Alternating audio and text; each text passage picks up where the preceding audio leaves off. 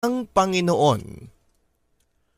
Mga kabarangay, anumang hina ng iyong tinig ay maririnig niya. Oras na ito'y mataimtim na hinihiling. Sa ating kwento, bibida sa atin ang isang babaeng hindi sapat na ibulong ang kanyang mga dasal at kahilingan. Hindi sapat na sa utak lamang naririnig ang lahat ng kanyang gustong sabihin. Tila nais niyang makausap ng malakasan ng Panginoon para sabihin lahat ng kanyang nararamdaman. Sangayon ka ba sa kanyang paraan? At ikaw kabarangay, paano ka nga ba magdasal? Paano ka makipag-usap sa itaas? Ano nga ba ang iyong diskarte para marinig ka niya? Pakinggan natin ang kwento ni Esri. Malakas kong magdasal. Malakas kong humiling sa itaas. Magandang paraan nga ba ito para mangibabaw ang kanyang kahilingan at dasal sa lahat? Malalaman natin yan sa mga kwento ng pag-ibig, buhay at pag-asa sa nangungunang Barangay Love Stories. Dear Papa Dudut Simbahan Ito ang madalas nating takbuhan sa mga oras na tayo ay nagigipit na. Sa mga oras na tayo ay may hinihiling pa o di naman kaya ay sa mga oras na gusto lang nating mapag-isa. Lahat naman tayo ay may dahilan kung bakit nating pinipiling pumasok sa simbahan at lumuhod sa mga dikahoy nilang upuan. Ako, inaaraw-araw ko ang pagtungo sa simbahan dahil gusto kong kulitin ang Panginoon sa lahat ng kahilingan ko mula pa noong ako'y pastit pa lamang at hindi pa marunong magbasa. Iniisip ko kasi na baka kapag inaraw-araw ko ang pangungulit sa Panginoon, ibigay niya lahat ng aking nais ako nga pala si Ezri. Ang kwento ko sa inyo ngayong araw ay magiging dahilan kung bakit nanaisin niyong dumalaw na lang sa simbahan kapag kayo ay may problema at hiling sa buhay. Kesa ibabad ang inyong sikmura sa nakakalasong alak. Samahan mo ko. Tara, simba tayo. Isang araw matapos ang aking huling klase ay nagtungo ako sa simbahan na aking nakalakihan na. Halos kilala ko na lahat ng mga namamahala dito sa dalas na makita nila ako. Kampante akong nagtungo sa harapang parte ng simbahan kung saan ay may mga matatanda akong nakakatabi. Taimtim silang nakayuko habang nagdarasal. Dahan-dahan akong lumuhod at tumingin sa altar at pagkatapos ay inusal na ang aking dasal at mga kahilingan. Malakas akong magdasal na tila kaharap ko lamang ang Panginoon at aking kausap. Minsan nga sa lakas ay napapatingin sa akin ang mga nakapaligid sa akin na naiistorbo siguro dahil sa aking maingay at malakas na pagdarasal. Wala akong pakialam doon. Noong una, ang mga parokyanong nakakasabayan ko ay nababanas dahil hindi sila makapagdasal ng taimtim at tahimik. Pero noong nakasanayan ay hinayaan na lamang nila ako.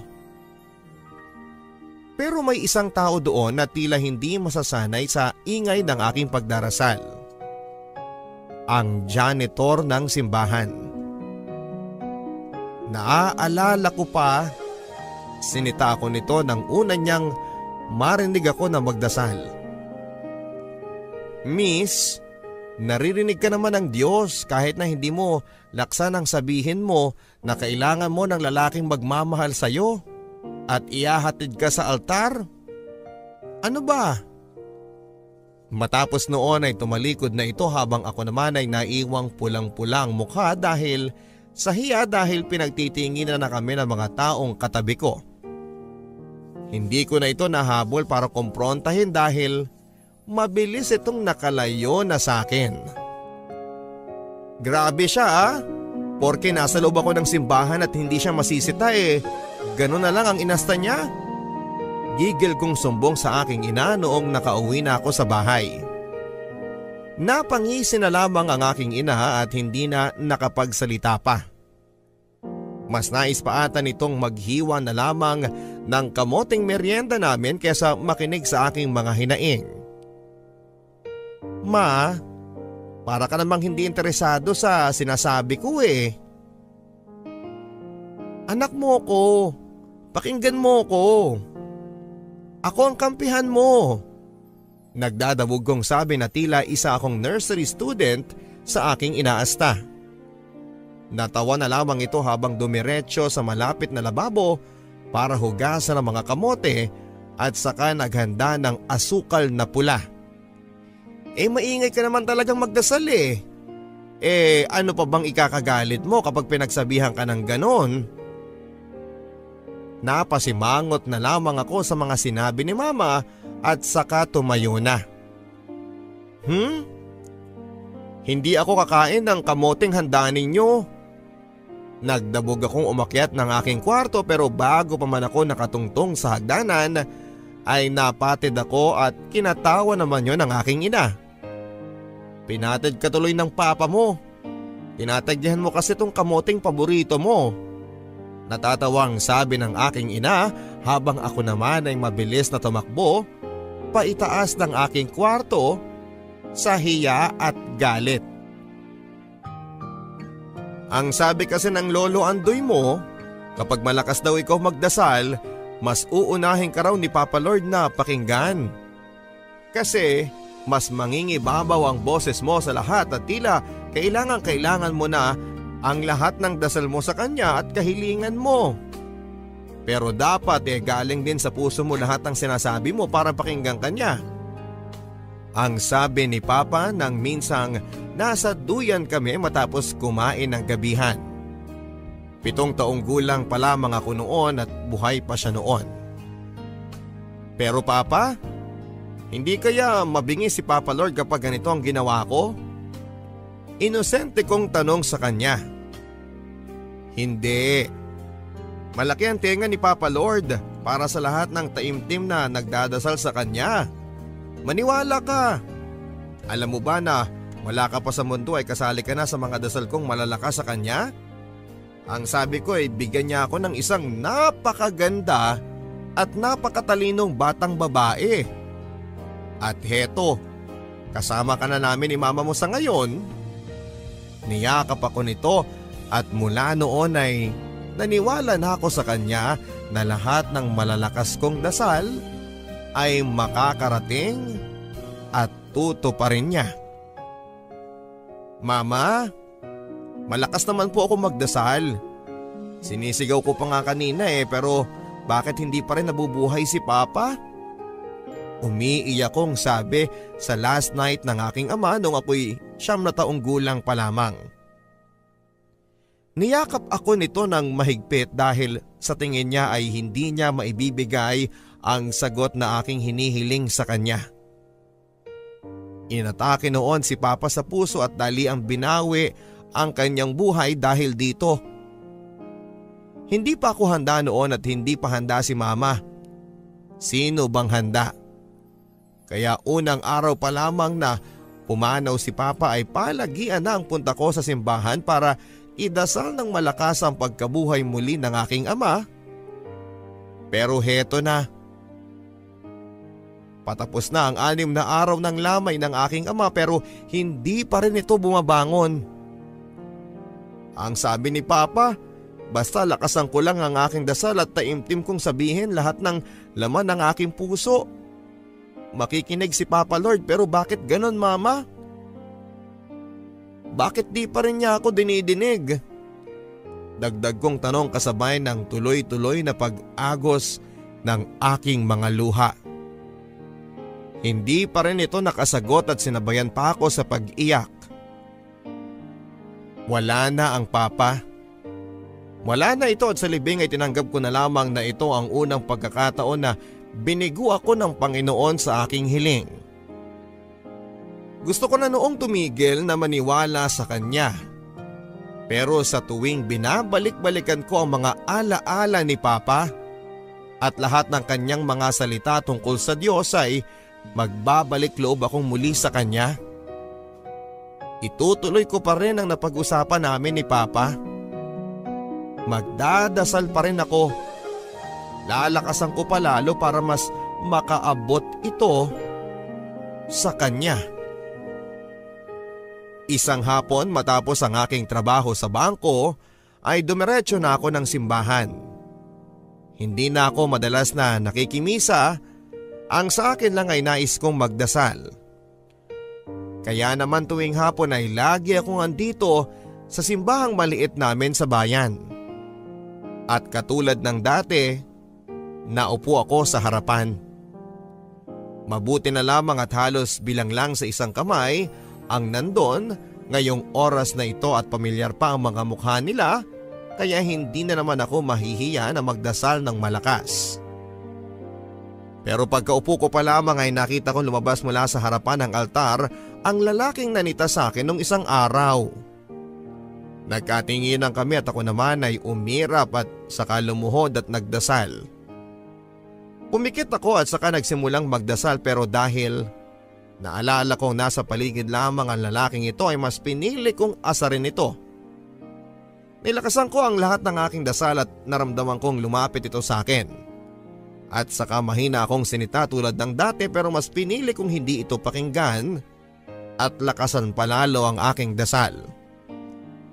Hanggang sa hindi ko na malaya na mga hinihiling ko ay nakakahiya na pala. Papa Lord, sana dumating na sa tamang oras ang dalaw ko. Ito ang aking huling hiling bago ko napagtangtong nakakahiya na pala ito. Napamulat ako at nakatingin sa akin ang mga babaeng nakabungis-ngis at nang tumingin ako sa aking tabi ay nakita ko ang lalaking nanita sa akin na nakatakip ang bibig at bigil ang tawa. Pulang-pula ang magkabilang pisngi ko noon at saka tumayo na para umalis. Pero bago pa man ako nakalabas ng simbahan ay nagpahabol pa ng sasabihin ang lalaking ito. Ayan kasi. Saka hinatid ako ng tingin palabas ng simbahang yon. Saan ba dito yung antipatikong janitor na yon, Esri? Tanong ng aking best friend na si Mitch. Naikwento ko na kasi sa kanya kung paano halos paputukin ito ang ugat ko sa batok sa galit. Andito lang yun. Halos mabalin ang leg ko kakahanap sa lalaking ito. At nang makita ko na ay ginuso ko na kay Mitch ang pwesto nito. Noong una ay nakakunot noo ito na pinagmamasda ng lalaki pero noong tumagal ay nagliwanag ang mukha niya. Ay, may karapatan pala siyang magalit sa'yo. Be, ang gwapo eh. Akmang lalapitan na nito ang lalaking yon pero pinigilan ko dahil alam kong lalandiin lamang niya. Naghahanap ako ng kakampi pero tila pati ang babaeng ito ay mapupunta sa side ng lalaking yon. Ano ka ba Esri? Baka naman kasi masyado mo lang siyang hinuhusgahan. Mukha namang mabait to. Ikaw naman kasi minsan ang sungit-sungit mo.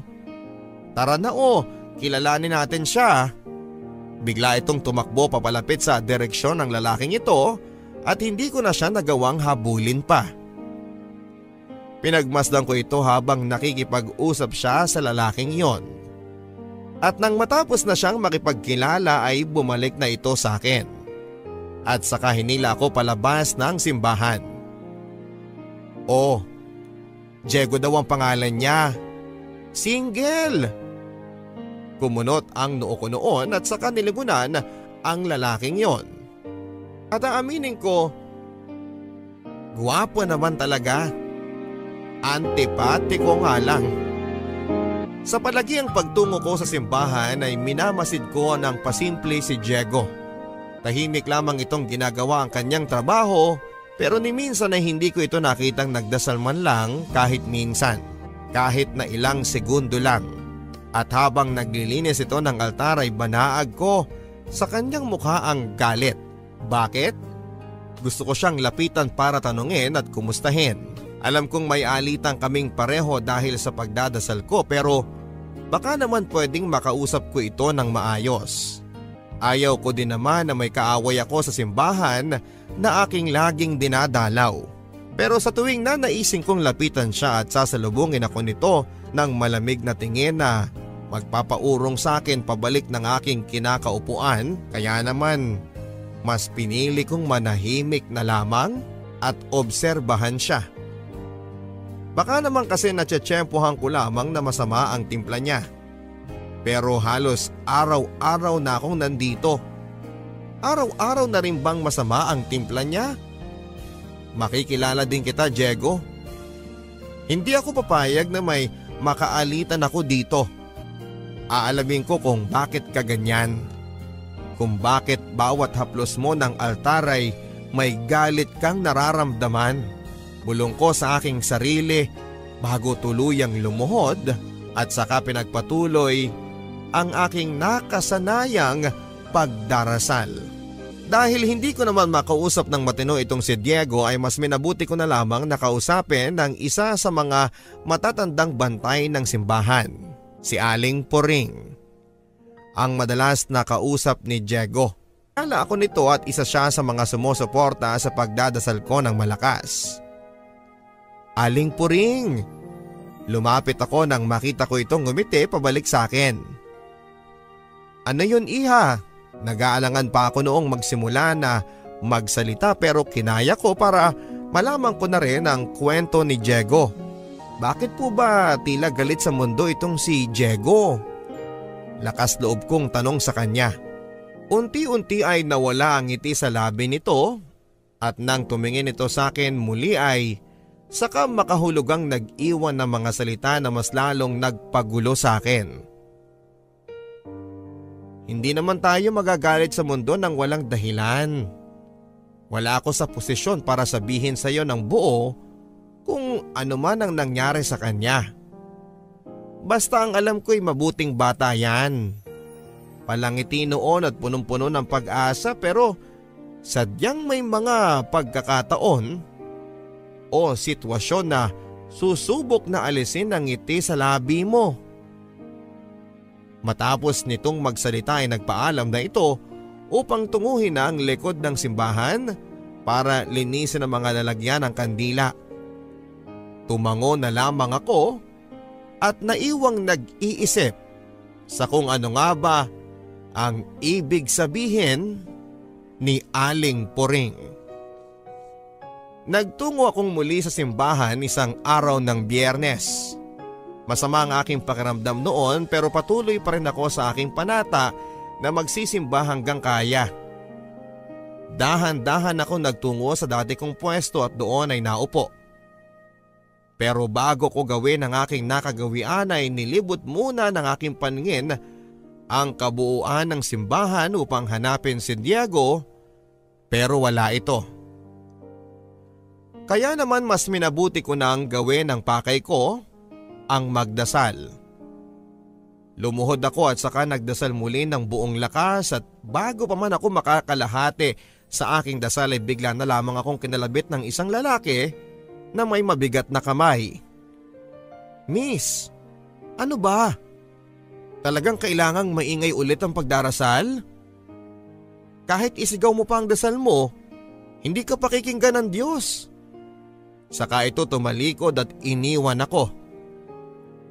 Si Diego ito at tulad ng dati ay pinakialaman muli ako sa aking pagdarasal. Kung normal na araw siguro ay Mapagbibigyan ko ito pero masama ang pakiramdam ko noon at ginatungan pa niya ng maanghang na salita kaya naman sinugod ko na ito palabas ng simbahan. Sobra na ito. Anong akala niya?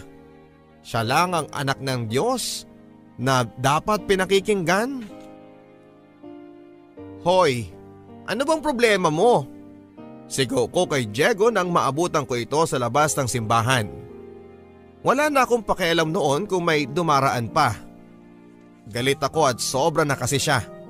Ang sa akin lang, bakit kailangan mo pang lakasan ang pagdarasal mo? Hindi mo ba naiisip na nakakaistorbo ka na? Bukod sa hindi sila makapagdasal ng maayos, akala mo ikaw ang may-ari ng buong simbahan para ihayag ng malakas ang mga dasal at hiling mo. Kalmado pa nitong sabi at nang akmang tatalikod na ito ay pinigilan ko siya para sabihin ang aking nakahandang argumento. Kahit kailan, hindi naging masama ang magdasal ng malakas. May kanya-kanya tayong paraan kung paano natin gustong kausapin ng Diyos. At kung ito ang napili kong paraan, Masama na ba ito? Eh parehas lang naman kami ng ibang tao na tahimik magdasal. Pero isa lang ang dahilan namin. Gusto naming marinig kami ng Diyos sa paraang nakasanayan namin. Sa paraang gusto namin. Ako naman sana ang tatalikod na sa kanya dahil nasabi ko na lahat ng gusto ko pero siya naman ang pumigil sa akin at nilapag ang kanyang argumento. Nakasanayan mo ng magdasal ng magdasal ng malakas na paraan? Bakit? Sa tingin mo eh, tutuparin niya ng Diyos? Miss, kahit isigaw mo pa yan o gumamit ka ng mikropono kung talagang ayaw to pa rin ng Diyos, ang kahilingan mo wala din. Kahit dumugo ng lalamunan mo sa kakahiling sa Kanya, kung ayaw ka talaga niyang pagbigyan, wala talaga. Makinig ka na lang sa akin dahil minsan sinigaw ko na rin ang dasal ko pero anong nangyari? Wala. Binawi pa rin niya kahit sa isang taong mahal ko. Una magulang ko. Namatay silang pareho dahil sa pulmonya. Nasaan ang Diyos noon? Araw-araw ako nagsisimba noon.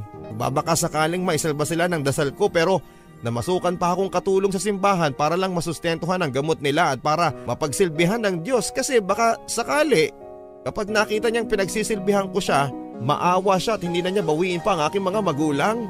Dahil sila lang ang meron ako pero wala. Hindi siya nakinig.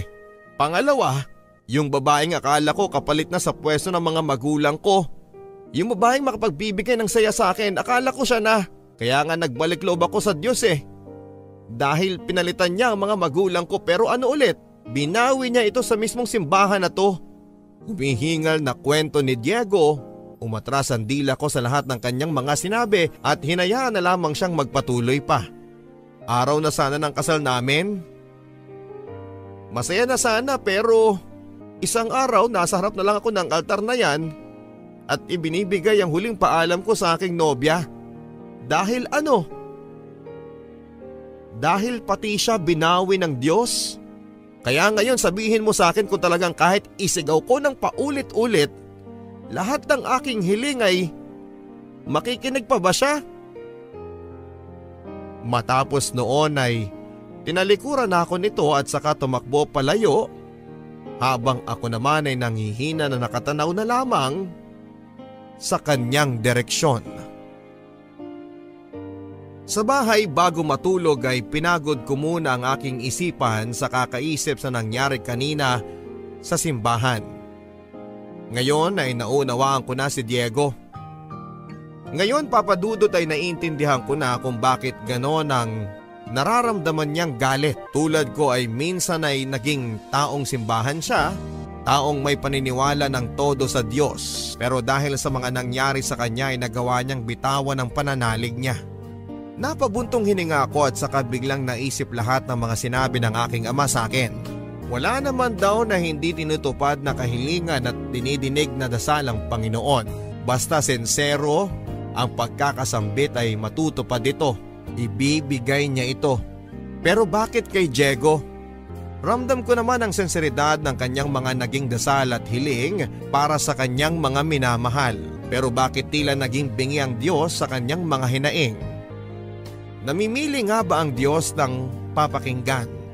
Namimili nga ba ito ng mga tutuparing hiling? Naguguluhan ako at kahit ako mismo ay gusto ko nang kwestiyonin kung tama lang ba na ipagpatuloy ko pa ang aking pagdarasal kung wala din lang naman itong patutunguhan.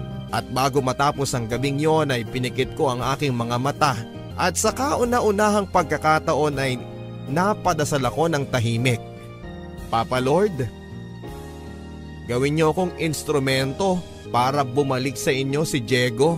Hawak-hawak ko ang napakaliit na bilao kung saan ay nandoon ang mga gawang suma ng aking ina. Patungo ako noon sa simbahan may mga lumalapit pa sa akin. Nasa tarangkahan pa lamang ako ng simbahan para bumili pero tinanggihan ko ang mga ito. Hindi ko naman binebenta ang mga ito at bigay ko ito kay Diego. Alala ko kasi noong bata pa lamang ako ay gumagaan ang loob ko sa tuwing pinagluluto ako ni mama ng ganito. Baka makatulong kay Diego. Baka lang naman. Malay natin ay gumaan na ang loob niya.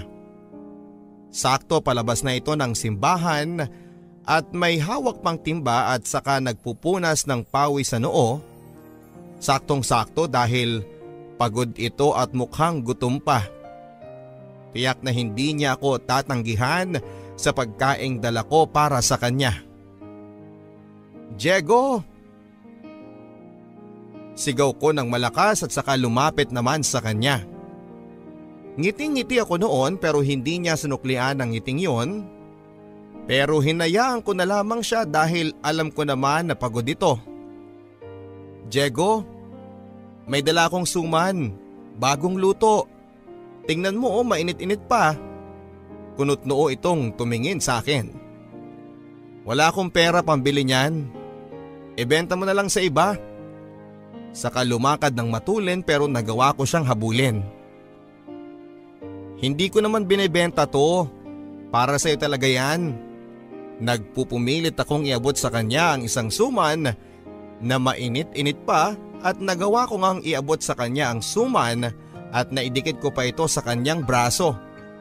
At dahil nga sa pilit ko siyang hinahabol, kaya siguro sa sobrang gulat nito ay natabig niya ang aking kamay, na kinagulat ko kaya naman nabitawan ko rin ang bilaong hawak ko. Nakita kong nabigla din siya at tila nais akong tulungan basta sa mga mata nitong nanlaki sa gulat. Pero pinagharian pa rin ito ng pride kaya bumalik ang pagkunot ng kanyang noo at saka malamig na nagsalita. Huwag na kasing mapilit. Eto lang at sa kanya ako iniwan na hindi man lang ako tinutulungan. Kaya naman ako na mismo ang pumulot isa-isa ng mga sumang tumilapon. Ganon pa man ay hindi ako nakaramdam ng galit. Mas nakaramdam akong kailangan ko siyang tulungan talaga. Kailangan niya ng tulong. Kailangan niya ako. Hindi ako pinalaki ng mga magulang ko para kusa na lamang sumuko sa konting hirap. Tatapusin ko ang laban kay Diego. Gagawa ako ng paraan para magbalik loob ito sa Panginoon. At araw-araw, iba't ibang klase ng pagkain ang aking daladala para lang mapilit siyang kausapin ako. Mga pagkain sa tingin ko ay magugustuhan niya dahil Nagtanong-tanong ako sa mga kakilala niya sa simbahan. At eto lahat ang kanilang mga sinabi. Sinigang na baboy, adobong manok, lemon juice at barakong kape pero ni isa rito ay wala siyang pinansin at sa bawat araw na sinusubukan ko siyang lapitan ay mas lalo itong nagagalit at mas lalong tumatalim ang tingin niya sa akin. Napapagod na rin ako sa totoo lamang pero hindi ko naisip na sumuko. Nandito na ako eh. Nakakalapit na ako sa kanya. Alam ko na eto na ang simula. Mababalik ko siya sa Diyos. Ilang beses man niya akong tanggihan sa ngayon, alam kong lalambot din ang kanyang puso at mapapansin din niya ang ginagawa ko. Wala akong daladala ng araw na yon ang tanging dala ko marahil ang dasal na aking inaral at hiling na sana'y maging maayos na si Diego sa akin. Pumasok ako ng simbahan at walang tao kundi ang dalawang sakristahan na tinuturuan kung paano ang tamang lakad pa altar. Naupo ko sa bandang likuran para hindi maistorbo ang mga nag ensayong yon. Naupo ako at matapos ang ilang minuto ay hinanda ko na ang aking sarili sa isang dasal. Nakapikit Nakaluhod at malakas ang aking pagbigkas ng aking dasal at hiling tulad ng dati. Papa Lord, napapagod na po akong kausapin at lapitan si Diego. Pero hindi po ako titigil dahil alam ko na gusto rin niya na magbalik sa inyo. Papa Lord, sana mabigyan niyo po ako ng lakas ng loob na ipagpatuloy ang nasimulan ko. Baka naman pwede niyong ibulong sa kanya na Huwag nang maging masungit. Pansinin na niya ako.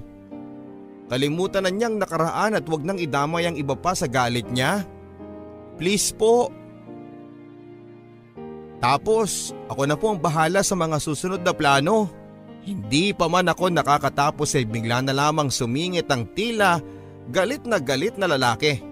Walang iba kundi si Diego. Ano bang pakialam mo sa buhay ko? Bakit ba ang hilig mo makialam? Wala ka na bang alam gawin kundi ang gawin yan? Bakit di mo na lang pagtuunan ng pansin yung mga walang kwenta mong hiling para sa sarili mo? At hayaan na lang ang ibang tao Idasal mo na lang din na makahanap ka ng lalaking handang tanggapin ang pagiging baliw mo.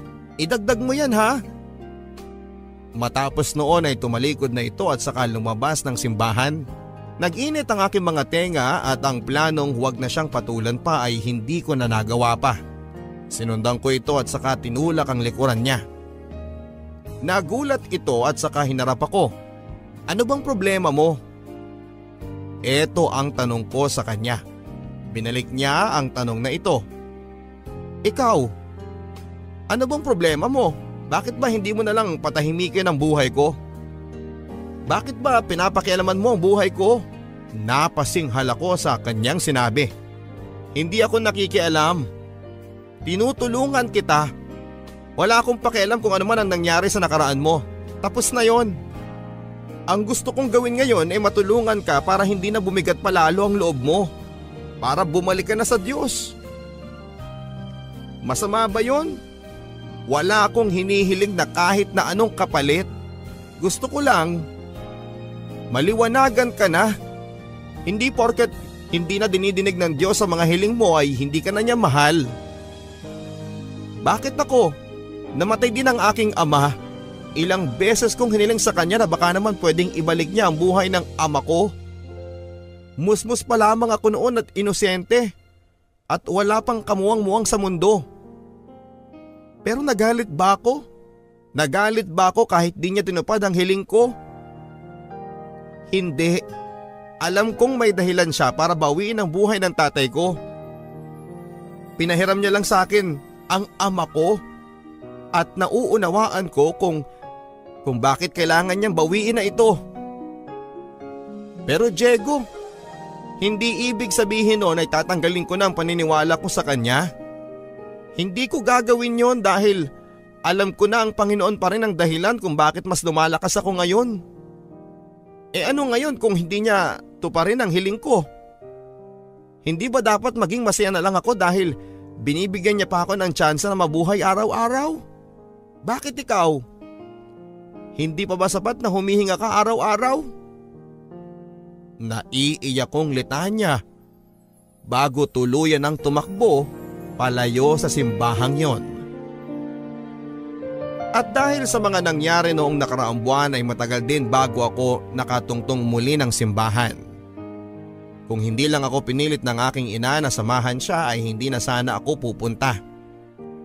Alam kong nahahalata nito na hindi ako nagsisimba tulad ng dati pero hindi na siya nagtatanong pa pero inaya na lamang niya ako na ibalik muli ang aking panata.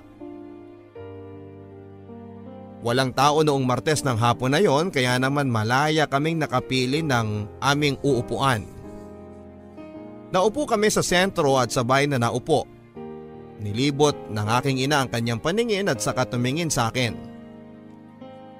Asan ba dito yung lalaking suplado na sinasabi mo? Nakangiting tanong ni mama. Si Diego po ba? Sagot ko. Tumango ito at saka sinabayan ko na siyang muling ilibot ang paningin sa kabuuan ng simbahan at sakto pagtingin ko sa kaliwa ay iniluwa ng pintuan doon si Diego at saka dire-diretsyong naupo sa unang hilera ng upuan ng simbahan. Tila nag-iba ang aura nito at nagagawa ng pangitiin ang mga mata niya. Kahit nasa malayo ay alam kong malusog at masaya na ang kanyang dating malungkot na mga mata. Tila nga nagkalaman ang mga ito, ang laki naman ang nagawa ng isang buwang hindi namin pagkikita. Ayun siya ma, yung nakaasul at pulang kupas na puting purontong ang turo ko. Ngumiti si mama at sa kanilagay ang kanyang shoulder bag sa kanyang kandungan. Nilabas nito roon ang isang mainit-init na suman. Ibigay mo ito sa kanya, matutuwa yan. Lapitan mo na habang mainit pa ang suman. Ngumiti ito at saka sa pilitang nilagay ang suman sa aking palad. O bigay ng mama ko. Nakasimangot kong sabi nang mapilitan akong lapitan siya sa harapan dahil sa utos ng aking ina. Tumingin ako sa pwesto ng aking ina at tila inuudyokan akong kausapin pa siya. Pero gusto ko na sanang umalis noon dahil hindi ko alam kung paano ulit siya sisimulang kausapin matapos ang nangyari noong nakaraang buwan. Kumusta ka na? Panimula ko. Tumingin ito at inaya akong maupo.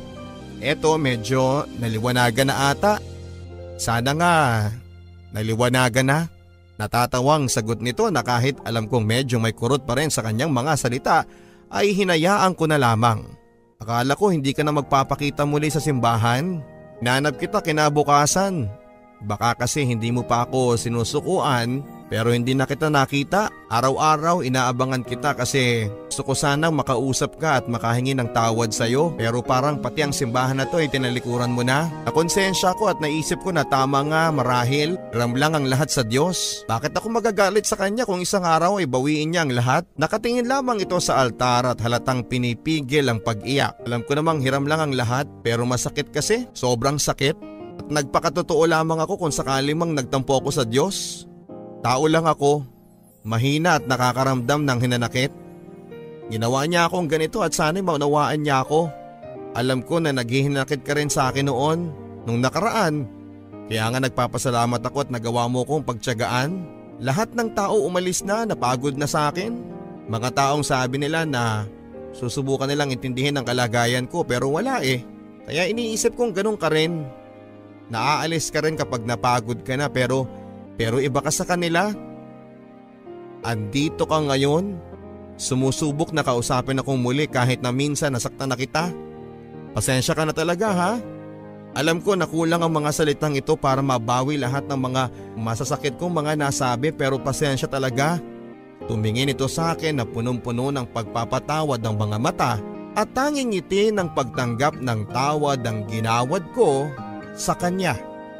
Sana nga papadudot ay sapat na yon para sa kanya.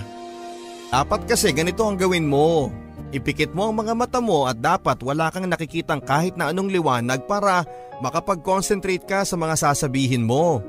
Tulad nito, pinikit ko ng mariin ng aking mga mata para ipakita kung paano ba ang sinasabi ko kay Diego. At saka pagsakupin mo ang dalawang palad mo na parang sabik na sabik silang magdikit na dalawa. Muli ko na naman yung pinakita sa kanya. At saka ka magsalita na tila kausap mo lang ang Diyos sa iyong harapan. Huwag kang mahihiya ha. Walang nakakahiya sa pagdarasal. Nagmulat na ako noon para tumingin sa kanya at makita kung naunawaan ba niya ang sinasabi ko. Tumango naman ito at saka sumunod. Napangiti ako papadudot dahil hindi na ito kumontra pa katulad noong mga una naming pag-uusap na dalawa. Lumuhod ito at pumikit ng mariin Pinagyakap ang dalawang palad at saka inusal ang isang malakas na dasal. Pinagmasdan ko lang ito at saka hiniling na sana ang bawat dasal at hiling nito ay matupad na. Panginoon, kumusta na ba ang mga magulang ko at si Sheila dyan sa itaas? Kilala pa ba nila ako? Baka naman po pwedeng sa gabi maibulong mo sa akin kung ano man po ang kalagayan nila ngayon. Alam ko naman na mas maginhawa na sila dyan sa inyong piling pero sana Huwag niyong masamain kung sakali mang sila ay kumustahin ko. Namimiss ko na sila Panginoon ko. Araw-araw. Alam kong ramdam niyo ito pero alam ko din na araw-araw na ramdam niyo ang pait na nararanasan ko pero kakayanin ko ang lahat ng ito. Dahil alam ko na ayaw nilang nahihirapan ako. At kung sakali mang hindi pwede ang hinihiling ko, baka naman pwedeng sabihin na lamang po sa kanila na wag nang mag-alala para sa akin. Dahil maayos naman ako. Maayos naman ako at lahat ay kinakaya ko. Pakisabi din sa kanila kung kung nasaan man sila, masaya ako na nakasama sila kahit saglit lang sa kanilang buhay na minsan nakasama at nakilala ko ang mga katulad nila na nagturo sa akin ng totoong definasyon ng pagmamahal. Panginoon, salamat sa iyo dahil pinahiram mo sila. Patawarin mo po ako sana kung napuno ako ng galit nung binawi mo sila. Patawarin mo ako Diyos ko. Hindi ko alam ang ginagawa ko. Patawarin mo ko Diyos ko. Alam kong mali ang magtampo sa inyo. Patawarin mo ko. Hindi ko lang din kasi nakayanan na bitawan ng mga taong dahilan kung bakit gusto ko pang gumising sa bawat araw. Pumiyok na ito sa huling linya at doon ay nagbadya na ang malalim na pag-iyak. Hinaplos ko ang kanyang likuran para aluin ito at nang makarinig ako ng pag-iyak nito na matagal na rin niyang tinatago ay napakalma na ako. At sa ilang minutong nakatingin ako dito ay wala akong ibang ginawa kundi ang tahimik na ipagdasal ang kapayapaan ng kanyang kalooban. Sa ngalan ng Ama, Anak at Espiritu Santo. Amen. Matapos bigkasin ang huling linya ng aming dalangin ay sabay-sabay kaming tumayo sa pagkakaluhod at saka umupo. Kapwa kami nagkatinginan at sa huli ay nagkangitian. Handa ka na ba para bukas? Tanong ni Diego sa akin na kay lapad ng ngiti. Ako nga ang dapat na nagtatanong niyan sa iyo eh. Balik sagot ko sa kanya na kinatawa nito. Limang taon na tayo ngayon. Ngayon pa ba ako aatras sa kasal na yan? Sagot nito at saka ako hinalikan sa aking noo. Kapwa kami nagtitigan ng mga oras na yon at tila iyon ang pinakamasarap na gawin. Wala ka na bang ibang hihilingin bago tayo umalis ng simbahan na ito? Tanong nito muli sa akin. Umiling ako at saka ngumiti. Wala na. Mula nung binigay ka niya sa akin, tinupad na niya lahat ng hiling ko para maging totoong masaya. Seryosong sagot ko. Hinaplos ni Diego ang aking pisngi at saka yumakap sa akin. Sa ating dalawa, ako naman talaga ang pinakinggan ng Diyos eh. Hiniling kita at dumating ka. At ngayon ay sa akin ka. Hinigpitan nito ang yakap sa akin at matapos ay muli kaming nagtinginan. Saka tumayong pareho para lumabas na ng simbahan kung saan kami ay unang nagsimula. Kung saan ay nagiging asot pusa ang aming kalagayan na hindi pwedeng pagsamahin sa iisang lugar. Pero heto kami ngayon, magkahawa kamay na tila hindi mapaghihiwalay pa. Di namin inaasahan na magiging ganito ang kalalabasan ng aming kwento. Akala ko noong una ay wala ng pag-asa na magkakilala kami pero heto ngayon, isa na si Diego sa mga bibihirang taong nakakilala sa akin ng totoo. Unang araw pa lamang nang nagkakilala kami ay nag-aaway na kami. Kune-question pa nito ang hiling na biyayaan ako ng lalaking mamahalin ako ng todo. Pero heto ngayon, ang lalaking kumontra sa hiling kong yon ay siyang lumuhod para hilingin ang aking kamay para sa kasal na matagal ko nang hinihintay. Minsan talaga, hindi mo alam kung ano ang plano sa iyo ng tadhana. Minsan talaga ay malilito ka sa kung bakit kailangang makilala at makasalamuha mo ang isang taong sa una ay naging sakit lang ng iyong mata. Pero sabi nga nila kailangan mo lang unawain lahat ng nangyayari. Lahat ng nakikilala natin ay may kinalaman sa susunod na yugto ng kabanata ng ating buhay. Salamat talaga Papa Lord. Lahat ng hiniling at dinasal ko sa iyo ay dininig mo. The best ka talaga. Ikaw ba kabarangay? Ikaw na nakapakinig ng aking kwento. Naniniwala ka ba na malaki ang naiambag ng dasal sa kinalalagyan ko sa ngayon. Ako ulit si Ezri. Salamat sa inyong pakikinig. Hayaan mo at ipagdadasal kita. May mga pagkakataon na dahil hindi tinupad ng Diyos ang ating kahilingan at dasal, akala po natin ay hindi niya ito piniling dinggin o baka naman na-traffic masyado ang ating mga salita sa Kanya kaya hindi to nakaabot sa kanya. Ikaw ba? May isang dasal o hiling ka nga ba na hindi na pagbigyan? Sumama ba ang loob mo? Kabarangay, naisip mo nga ba na baka hindi pinagbigyan ng Diyos ang iyong dasal at hiling ay dahil may mas alam siyang mas makakabuti para sa iyo? Bakit kaya hindi mo na lang siya hayaan sa kanyang mga plano? At matuto ka na lang na magmased sa susunod niyang galaw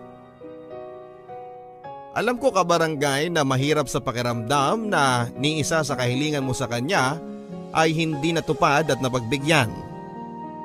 Pero ayaw mo bang sumubok na magtiwala sa kanya na kaya siguro hindi niya maibigay sa iyo yon ay dahil alam niyang may mga maganda pa siyang nakaplano para sa iyo. Tulad na lamang ni Diego. Isang lalaking binawian ng mga mahalagang tao sa buhay niya. Nagawa niyang kwestiyonin ang pamamalakad ng Diyos sa kanyang buhay pero sa pagdating ni Esri sa kanyang buhay, heto at naliwanagan siya at nawala ang galit niya sa itaas. At heto, ibinigay pa sa kanya si Esri.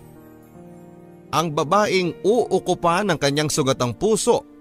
Ang babaeng gumawa ng paraan para maghilom ito at gumawa ng paraan para maipaunawa sa kanya na kapag may umalis may dumarating na kapag may umalis, may ituturo ito sa atin para mas mapabuti tayo para sa susunod na tao sa buhay natin. Masaya na sila hindi ba?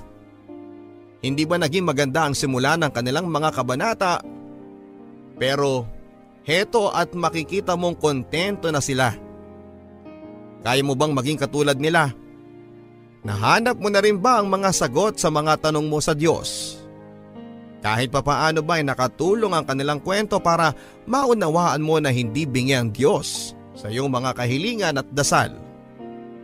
Alam lang talaga niya kung saan ka mas magiging masaya.